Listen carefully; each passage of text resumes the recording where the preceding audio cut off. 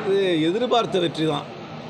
நாங்கள் பிரச்சாரத்துக்கு பிப்ரவரி மாதம் பதினோராம் தேதி செல்லும் பொழுதே சொல்லியிருந்தேன் குறைந்தபட்சம் ஐம்பதாயிரம் வாக்குகள் வித்தியாசத்தில் திராவிட முன்னேற்ற கழக கூட்டணியின் சார்பில் காங்கிரஸ் கட்சியின் வேட்பாளர் திரு இளங்கோவன் அவர்கள் வெற்றி பெறுவார்கள் என்று கூறினேன். அதுதான் நடந்தது. எதிர்பார்த்த வெற்றி தான். எதிர்பார்த்த வெற்றிக்கு அதிகப்படியான பணம் கொடுத்ததாக தமிழ்நாட்டில் நடக்கும் எல்லா இடைத்தேர்தலுக்கும் ஒரு இலக்கணம் உண்டு. அவ்வளோதான் அந்த இலக்கணம் இதிலே நடந்திருக்கு. இலக்கணம் உண்டு. ஆனாலும்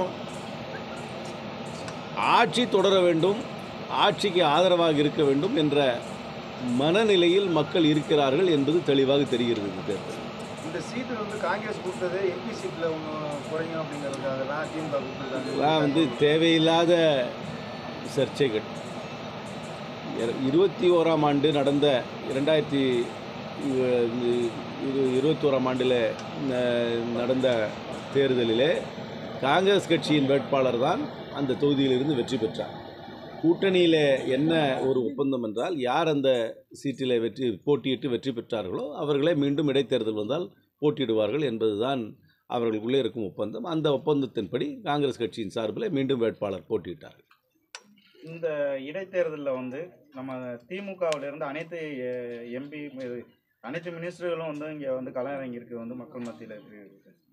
சரி ஆட்சிக்கு வந்த பின்னர் திரு மு க ஸ்டாலின் அவர்கள் ஆட்சிக்கு வந்த பின்னர் நடக்கும் முதல் இடைத்தேர்தல். அதனால் இதில் வந்து ஒரு நேச்சுரலாக இதில் வந்து அவர்களுடைய பலத்தை காமிக்க வேண்டும் என்று அவர்கள் விரும்பியது வந்து ஒன்று யதார்த்தம் தானே யதார்த்த அரசியல் தானே. அதனால் அவர்கள் வந்து அவங்களுடைய முழு பிரச்சார பலத்தையும் இந்த தேர்தலிலே காமிக்க வேண்டும் என்று அவர்கள் எண்ணி அதை நிரூபித்திருக்கிறார்கள்.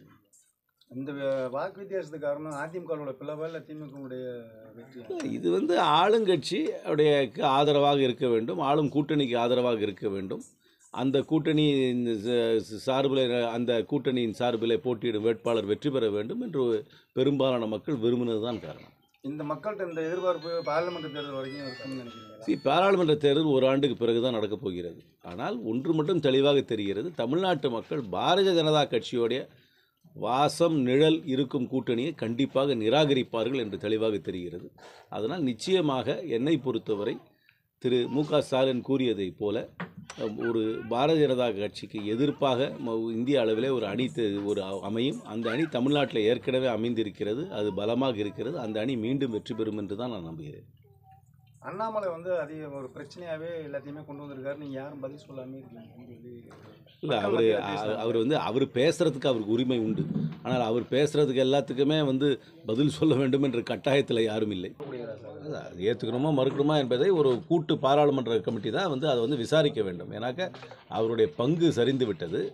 அந்த பங்கில் வந்து பொதுத்துறை நிறுவனங்கள் குறிப்பாக எல்ஐசி அதாவது உயிர் காப்பீட்டு க- கழகமும் இந்த state bank of India Punjab national bank எல்லாம் முதலீடு செய்திருக்கிறார்கள் கடன் கொடுத்திருக்கிறார்கள்.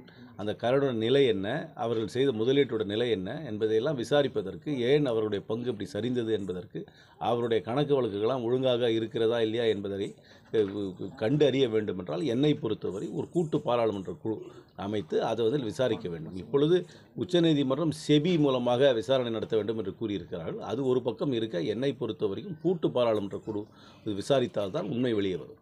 இதே போல பல முறை அந்த அம்பானி அதானி உங்களுக்கு சரிவு ஏற்பட்டு மேலே வந்துருக்கு சார். இல்லை அம்பானிக்கு இந்த மாதிரி சரிவு வந்ததாக எனக்கு தெரியல.